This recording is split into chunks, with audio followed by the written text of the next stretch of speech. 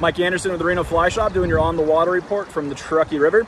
Truckee River's flowing just under 900 CFS. I think we've kind of peaked as far as runoff goes, so we should start to see kind of those diurnal swings just slowly taper down um, as we head into uh, some warmer times and that snow melt really starts to come off. Uh, fishing on the Truckee is starting to pick up. The water is a little bit high at 900 CFS. The fish just have a little more room to spread out. You want to make sure that you cover that water methodically, really making sure that you get into every water type, making sure that your flies get deep. So with that, larger flies, especially on the point, have helped a lot. Uh, the TJ hooker is a good fly for that, as well as a Pat's rubber legs. A lot of those big stone flies have been really effective just to get down.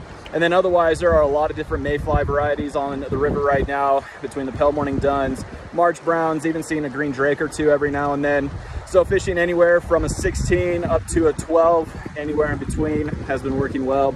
And a little bit of flash has seemed to be a really good choice. So we're looking into June and July, into the summer months for booking trips. So look at your calendar and let's get after it. Have a good one. Talk to you soon.